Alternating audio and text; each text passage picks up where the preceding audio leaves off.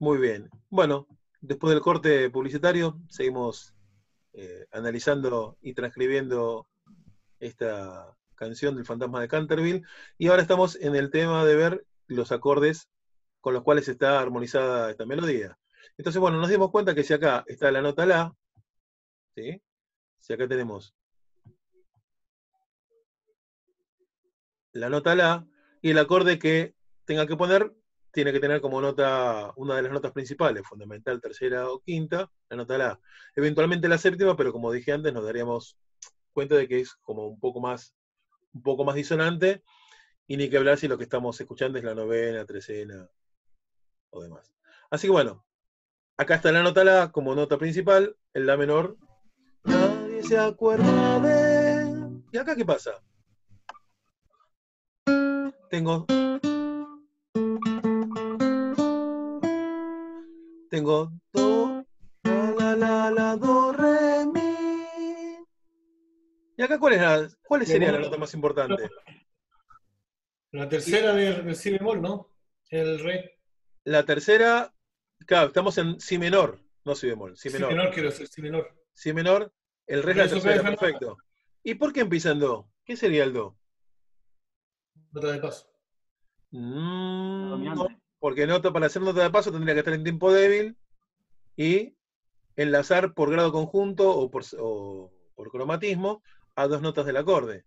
Esta es del acorde, pero no está a, distancia de... tengo, tengo, una, tengo una idea, pero no sé, tal vez está muy loco. Sería este, un si séptima bemol 9, ese 2 sería como la novena bemol, que sea eh, dominante para que caiga el mi, y en la menor cambié de opinión, en la menor si sería entonces un paso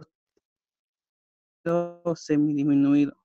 Sería dos, lo escuchamos. Eh, en el uno. Nadie, estoy tirado y nadie se acuerda. Este te suena y nadie se acuerda.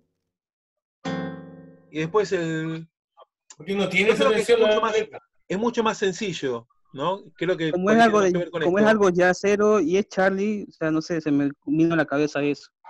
Sí, pero fíjate que si bien es algo ya sé, es Charlie, pero esto es bastante consonante, o sea, si bien nace toda, toda una intro más, este, más yacera, pero nadie se acuerda de mí. Esto que estoy tocando, que es lo que está escrito acá, suena bastante parecido a lo que está, a lo que suena en el tema. de mí. Y no escuchamos y nadie se acuerda. Porque decías un. Este, si, bemol, no sé, no me acuerdo qué acorde. No, sería si séptima, si séptima con novena bemol. El 2 sería la novena bemol. Sí, pero. qué sé yo. Porque dice que el 2 es parte del acorde. Y nadie se acuerda de. No, es, es como muy raro. Pero porque en realidad este do no influye en la armonía. Este do tiene otras características que también habíamos, visto cuando analizamos las melodías. ¿Qué es esa? ¿Es una nota que pertenece al acorde de si menor, el do? No. Pero inmediatamente después del do, ¿qué aparece? El re. ¿Y el re sí es nota del acorde? Sí. entonces. ¿cómo se llamaba a, esa, ese recurso melódico? En cual... ¿Cuál? ¿Anticipación? No, anticipación es cuando yo anticipo el acorde anterior. Por ejemplo, si acá hubiese aparecido primero en vez de este la. ¿Sería un retardo del acorde anterior?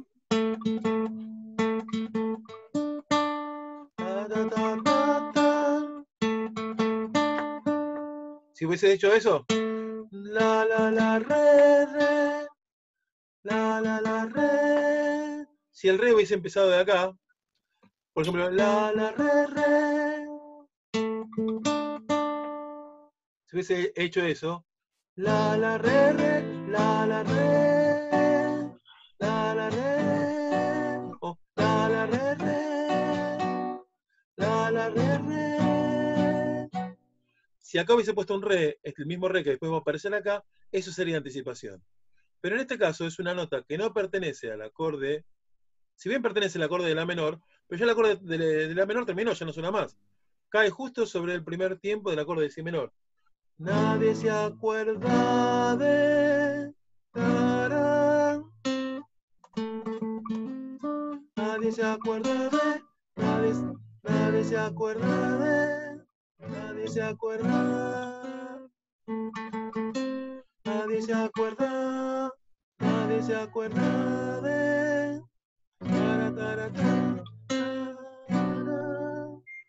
¿Cómo se llamaba eso? A,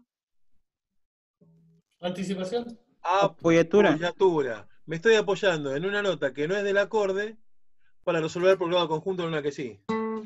Entonces, Apoyatura nadie se se acuerda, nadie se acuerda. Y sobre el sí estoy can- tocando, tocando el do.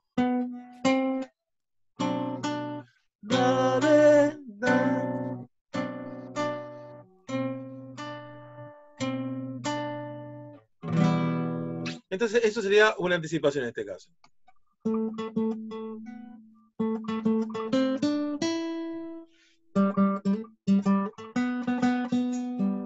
Bueno, ¿y acá qué viene? Pasó a través de la gente como el fantasma de Canterville. Después el mi menor que sigue.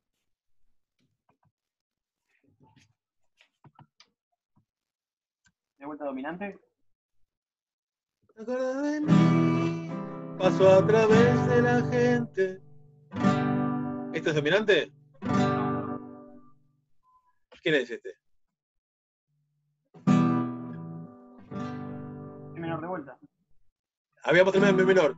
Y nadie se acuerda de mí. Pasó a través de la gente como el Primer grado. fantasma de Canterville. Primer grado. Acá sería primero. Pasó a través de la gente como el fantasma. ¿Y fantasma qué es? Cuarto. Desde la gente como el fantasma de Canterville. Fantasma de Canterville. ¿Y ahí qué hace? Dos, a través de la gente. Lo voy a reforzar con el acorde. Como el fantasma de Canterville. No. Dos más. Un do max 7. Do max 7, exactamente. ¿Sí?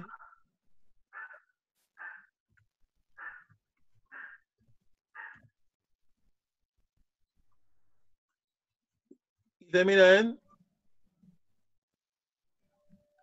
Sol. ¿No? Primer grado. La gente como el fantasma de Canterville. Muy bien. Entonces, esto sería como la estrofa. Hay algún otro acorde por ahí metido en el medio, ¿sí?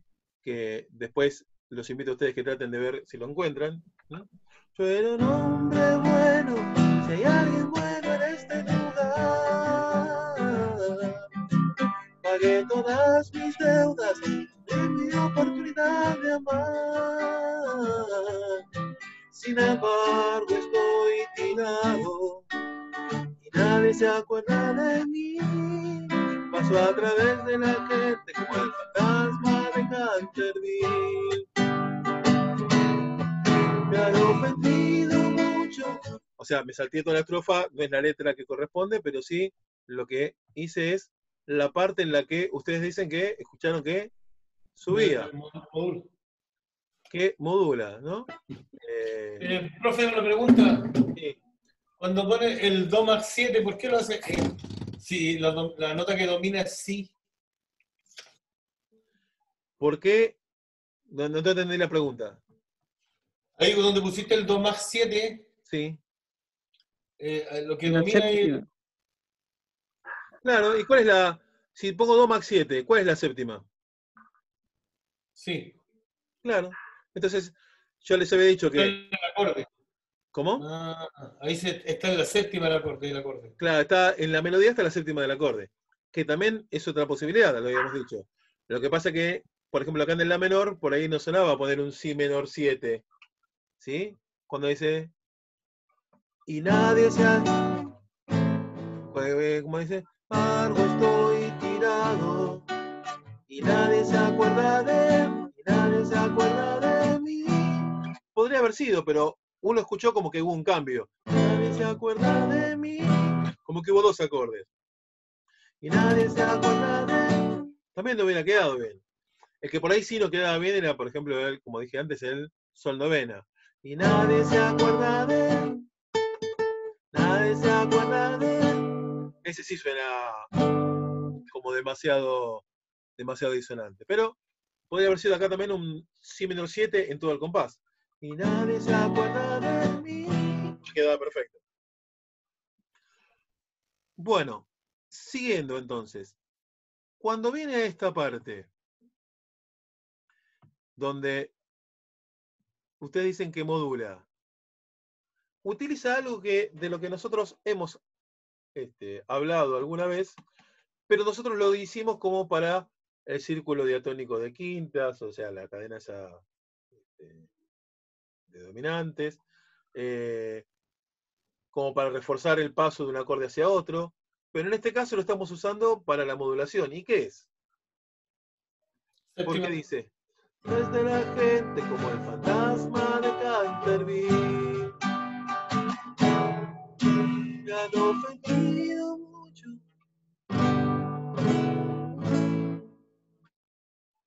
¿Qué usó ahí? ¿Qué, escucharon ustedes antes de me han ofendido mucho?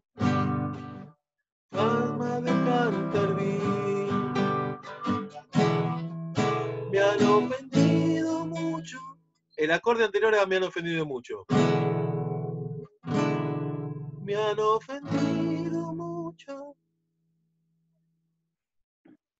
Escucha una, no- una nota Me suena a un atención, pero no, no sé qué nota. Un acorde, claro, te suena un acorde como de tensión, no sabes cuál es, pero es un acorde que suena con tensión. ¿Y qué sensación te produce esto? Estoy tocando el acorde anterior, a me han ofendido mucho, y el primer acorde de la parte ya modulada. Y ahora con la letra. Me han ofendido mucho.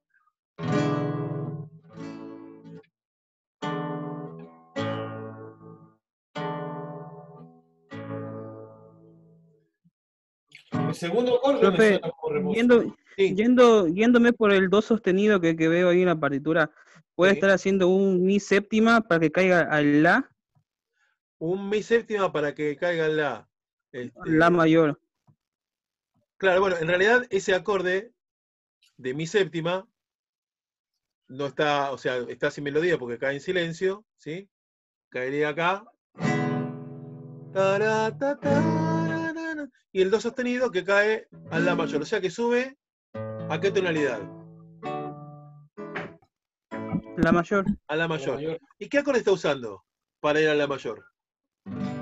El, el quinto, El quinto de la mayor. ¿Y quién la- es el quinto de la mayor? Mi, mi mi, séptima, séptima. mi mayor. Pero mi séptima, ¿está en la tonalidad de sol? No, Sería mi menor. Sería mi menor. menor. Entonces, ¿qué está haciendo con ese acorde? Está tomando ya el quinto del. del- No, lo del- está modulando, lo está modulando a un acorde mayor para cambiar. Está, en este caso, en vez de ser una dominante secundaria, porque la dominante secundaria lo que hace es eh, generar una tensión dentro de la tonalidad. La dominante secundaria no, no cambia de tonalidad. ¿Sí? Si yo tuviese que hacer, hu- hubiese hecho un mi séptima, sería para ir a la menor y seguir, en, por ejemplo, en, en la tonalidad de sol. Irme por un ratito, o sea, generar por un ratito una tensión hacia otro acorde, pero después volvería a sol. Ahora, en este caso, yo sé que no es dominante secundaria porque va a la mayor y sigue en la mayor. Para que haya modulación, tiene que haber confirmación de la nueva tonalidad. Si no, sería una dominante secundaria que va a, un, a otro grado de la escala, eh, lo, lo hace figurar por un ratito, lo pone como en primer plano un ratito, ¿sí?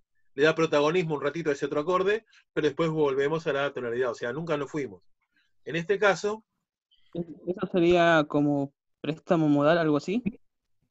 no, no, intercambio modal es otra cosa. Este, eh, intercambio modal es pedirle prestado un acorde, de- al- el- que el tono mayor, el modo mayor le pida acordes prestados al modo menor. Eso sería intercambio modal. Por ejemplo, como han escuchado alguna vez, una canción que tiene un, un cuarto, una canción en modo mayor que tiene cuarto menor. ¿sí? pero eso es otra cosa, de eso por ahí hablamos otro día, para no meter tantos temas juntos. Pero el- en este caso, lo que está haciendo es convirtiendo el mi menor en mi séptima, pero ya no para que ese acorde este, funcione como dominante secundaria dentro de la tonalidad de sol, sino que lo está usando como ya el quinto de la próxima tonalidad. ¿sí? Y esa es una de la las afirmación para cambiar la tonalidad. Claro, es una de las formas de modular. ¿sí? A través de convertir un acorde de la misma tonalidad por estas, como si fuese una dominante secundaria, pero en vez de ser dominante secundaria, que lo que haría sería por un ratito cambiar la atención hacia otro grado de la escala y después volver, lo que hace directamente cambiar de tonalidad. Irse en este caso a la mayor. Y para que sepamos que realmente cambió de tonalidad, eso se tiene que confirmar. O sea, no puede ser por un compás y ya está. Se tiene que confirmar. Y la confirmación es con las cadencias. Y en este caso, tenemos cadencias porque inclusive el tema termina con esto. A veces pasa en algunas obras que por una sección más o menos extensa, modula a otra tonalidad y después vuelve a la, a la tonalidad original o vuelve a modular a otra nueva tonalidad, ¿sí? Pero en este caso, Hace la re, entonces. eh, el tema termina en la mayor, ¿sí? Porque dice, he muerto muchas veces,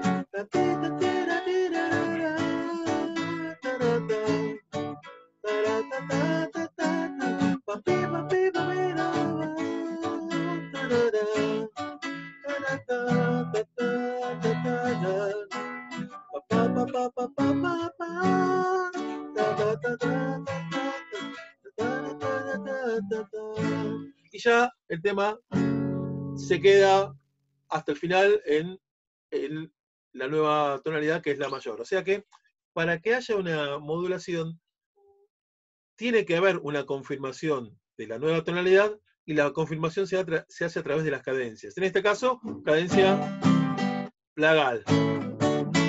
¿Sí? Oye, profe, eh, tú hiciste un, un fa sostenido menor ahí cuando estaba en la tonalidad de la. Eso quiere decir que entre cuando empieza la canción, entre sol y do cae un mi Ah. menor, ¿cierto? ¿Puede ser? Es lo que yo de que traten de ver. Bueno, recién se me escapó de mostrarles los- todos los acordes. La idea era que por ahí lo fuesen ustedes. Pero bueno, bien pensado, bien pensado, está bien. Fuimos más listos. Ah, Bien pensado.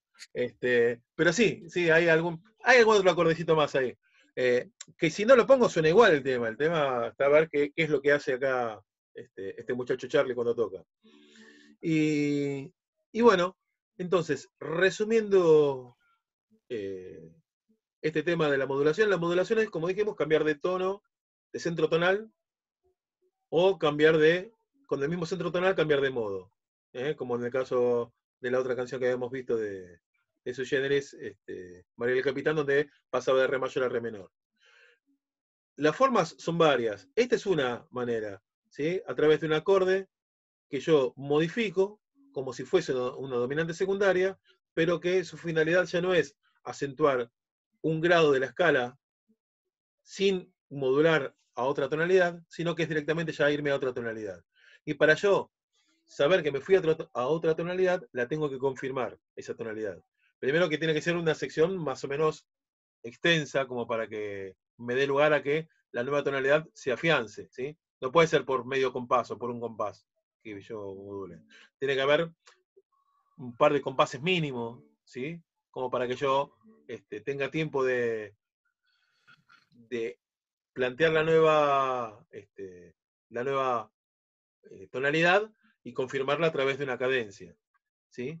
Y, pero como decíamos, no es la única. Y otra de las maneras eh, que por ahí encontremos será analizando la canción que yo les había dejado la semana pasada, esta de Peteco Carabajal, no sé si la pudieron escuchar. ¿sí? A ver, que empezaba creo que acá. La mazamorra, sabes que Profe, es el pan de los Una pregunta. Sí. Dime. Eh, en este caso, en este caso, este, ¿qué tipo de modulación sería esto? ¿Modulación directa? Eh, después vamos a ver los tipos de modulación. Primero ve- veamos qué, qué es la modulación, después le vamos a ir poniendo nombres cuando ya las tengamos un poquito Ah, ok, más claras de alguna, alguna forma. ¿sí? Este, por el momento, sepamos que esta es una forma de, de modulación. O sea, los nombres son Que quede en suspenso. importan- los nombres son importantes a la hora de poder nombrarlas y poder decir que- cuál es cuál. El tema, lo más importante es saber usarlas. ¿sí? Más que acordarse cómo se llama de una forma o de otra. Que ya te digo, no es que no, es, no sea importante saber el nombre, pero digamos, lo menos de las cosas importantes, lo menos importante es acordarse el nombre, lo más importante es saber cómo usarlas. Entonces ya tenemos entonces una manera de, si estoy en una, en un- en una tonalidad y quiero cambiar la canción de tonalidad, y bueno, uso algunos de los acordes de la tonalidad modificado, ¿sí? Como le llamamos este, grados efectivos o este, como utilizándolo como dominante secundaria, pero ya no como dominante secundaria, o sea, le aplicamos el mismo este, criterio que si fuese una dominante secundaria, pero ya no para que acentúe un grado de la misma tonalidad, sino para modular. Después el nombre se lo vamos a lo vamos a poner y se lo vamos a tener bien claro, pero por ahora vamos a ir viendo las diferentes maneras. Y entonces esta otra voy a hacer un poquitito acá para que vean, pero después lo van a escuchar bien en el tema de Peteco, ¿sí? La mazamorra, ¿sabes? Es el pan de los pobres y leche de las madres con los senos vacíos. Yo le beso las manos al Inca Viracocha, porque inventó el maíz y enseñó su cultivo en una artesa viene para unir la familia. Saludada por viejos, festejada por niños. ¿Qué pasó ahí? ¿Hubo un cambio de la primera a segunda estrofa? Empezaste en un tono menor, parece, ¿no? No, no, eran mayores. Era mayor. ¿Pero qué pasó entre una estrofa y otra? Voy a hacer el final de una. Un cambio muy drástico. Porque inventó el maíz y enseñó su cultivo. En una artesa viene para unir la familia. ¿Sonó algo diferente de de una parte a otra? También moduló y subió de tono, ¿no? Claro, ¿y, y ahí qué pasó? ¿Escucharon algo en el medio que una ambas partes? Bueno, esto como ya es medio tarde este, y hay que cenar, se, lo- se los dejo para que lo escuchen y lo analicen y lo piensen. Y que vayamos viendo el tema de las, de las cadencias. Eh, yo ahora les voy a dejar un, un pequeño apunte acerca de cadencias. En algunos puse ejemplos, en otros se los voy a dejar a ustedes para que completen. Canciones que ustedes conozcan que tengan este, ejemplos de esas cadencias que ahí faltan. Hay una que la vamos a explicar la próxima, que no sé si la van a encontrar, porque tiene más que ver con este, eso que habíamos hablado la otra vez, las inversiones de los acordes. ¿sí? Eh, pero bueno, de eso hablamos después. Eh, con respecto a esto, a ver, ya dejamos de compartir, así nos podemos ver mejor. Ahí está. Bueno, con respecto a esto, ¿alguna duda?